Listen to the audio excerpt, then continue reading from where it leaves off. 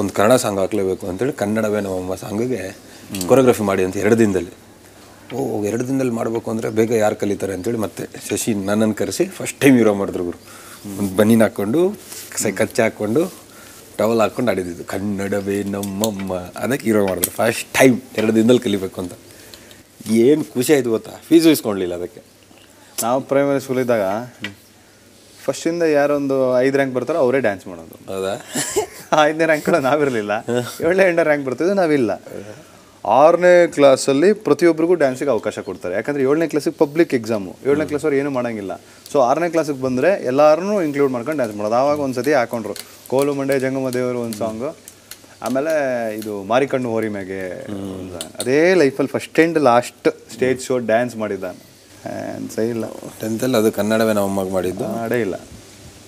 ಅದಕ್ಕೆ ಫೀಸ್ ಇಸ್ಕೊಂಡಿಲ್ಲ. ಯಾರು ಎಲ್ಲರೂ ಬರಲ್ಲ ಬರಲ್ಲ ಅಂದ್ರೆ ಯಾಕೆ ಎರಡು ದಿನದಲ್ಲಿ ಯಾರು ಮಾಡ್ತಾರೆ? ಸಾಂಗ್ ಚೆನ್ನಾಗಿಲ್ಲ ಅಂತ ಕೆಲವೊಬ್ರು.